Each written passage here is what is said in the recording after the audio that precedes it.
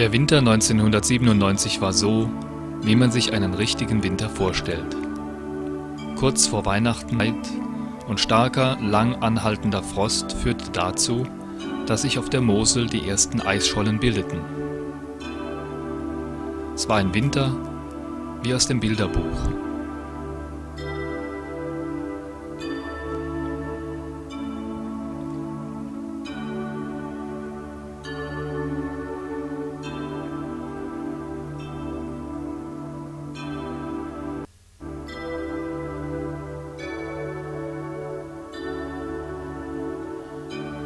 Ausgedehntes Kontinentalhoch und frostiger Ostwind sorgten für eisige Temperaturen, so dass immer mehr und immer größere Eisschollen auf der Mosel trieben. Noch brachen sie an den Bojen auf, aber bald schon war die Mosel zugefroren.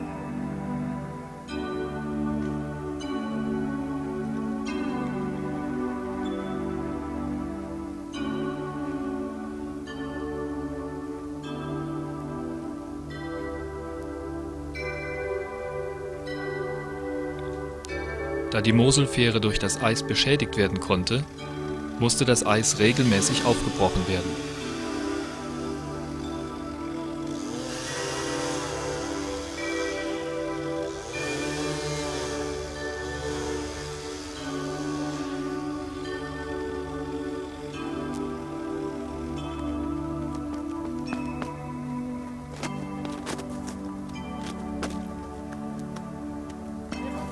Inzwischen hatte sich eine dicke Eisdecke gebildet und nach verschiedenen Tests wagten sich die ersten aufs Eis.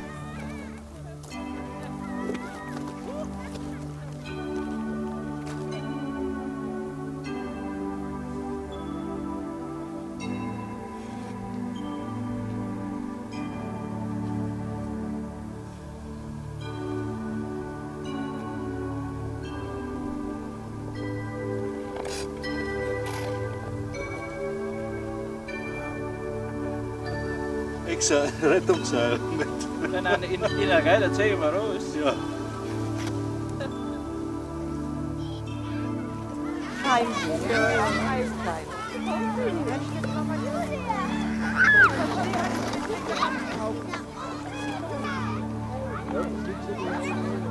Die zugefrorene Mosel wurde für viele zum Anziehungspunkt, es war ein neuer Spiel- und Sportplatz entstanden.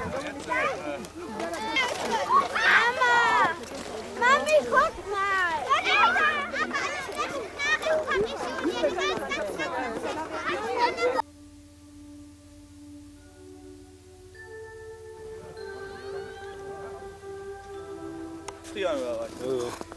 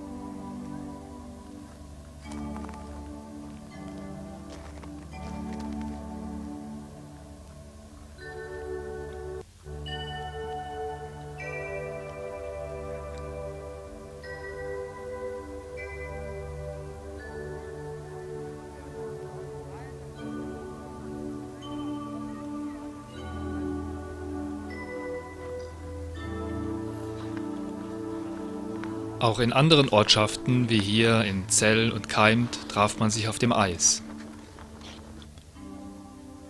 Und die Fußgängerbrücke von Zell nach Keimt wurde für eine Zeit überflüssig.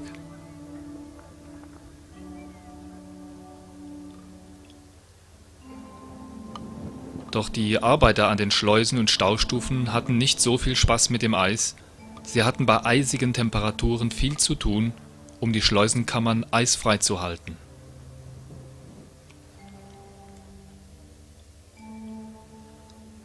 In den Häfen lagen die Schiffe inmitten einer dicken Eisschicht wochenlang fest und die Schiffer hatten große Verdienstausfälle.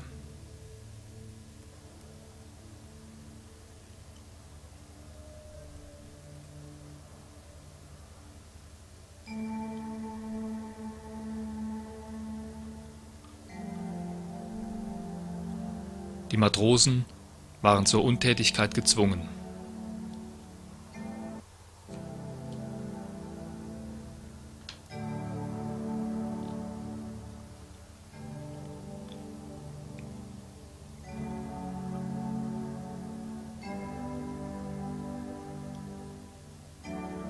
Bald bildeten sich an einigen Stellen des Flusses Eisbarrieren, wie hier beim Ort Briedel.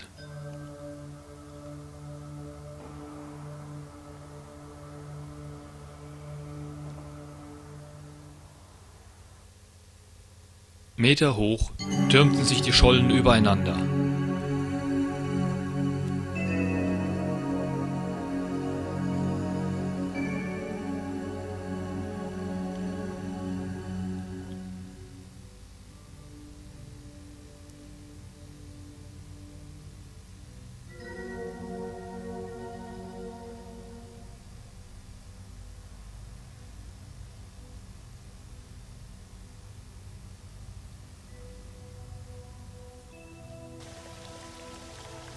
Dann setzte Tauwetter ein und es begann zu regnen.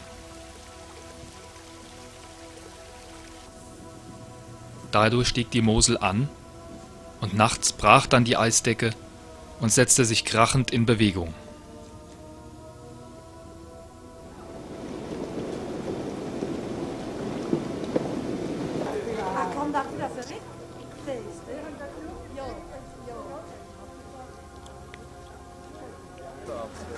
Morgens kamen die Eismassen der Obermosel bei uns vorbei, aber der gefürchtete Eisstau und das damit verbundene Hochwasser wie 1945 blieben aus.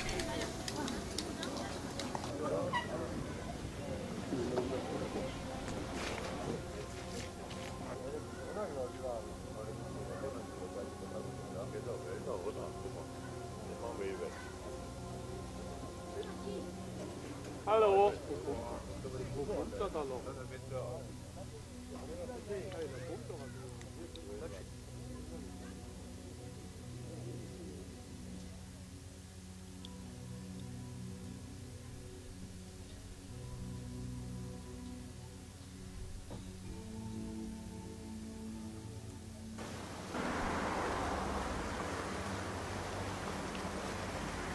Doch kam es einige Kilometer flussabwärts an der Schleuse St. Aldegund zu dem gefürchteten Eisstau.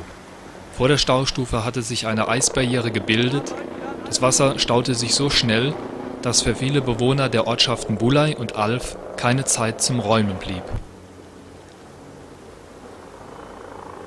Der Polizeihubschrauber mit dem Sprengstoff für die Eisbarriere kam erst an, als sich die Eisbarriere durch den enormen Wasserdruck von selbst gelöst hatte. Er musste unverrichteter Dinge wieder abfliegen.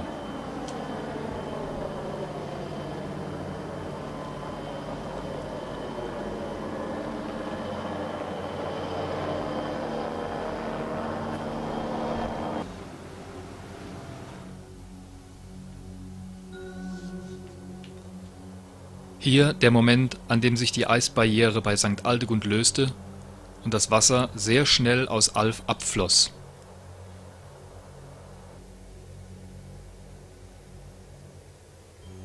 Es entstand Schaden in Millionenhöhe.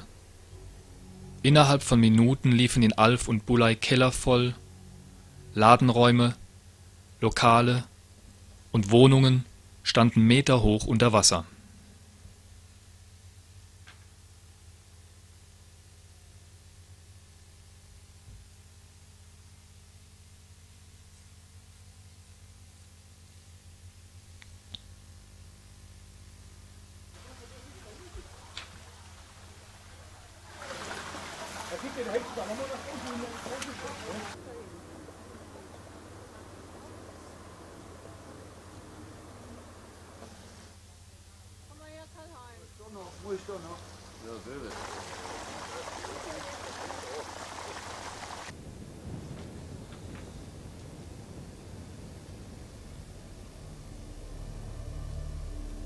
Am nächsten Tag erinnerten nur noch riesige Eisschollen am Ufer der Mosel an den Eisgang.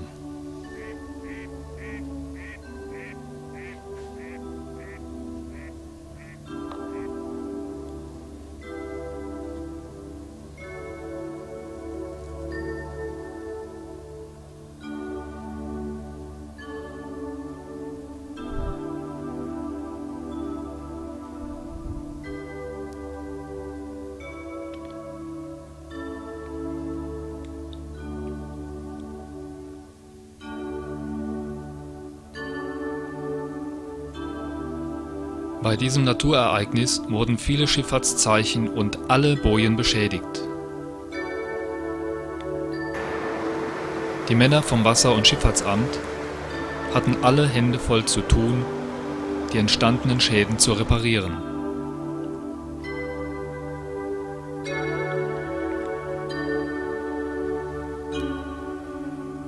Bei Büschen und Bäumen wurde durch die Eisschollen die Rinde verletzt Doch die Schwäne konnten jetzt wieder auf dem Wasser landen.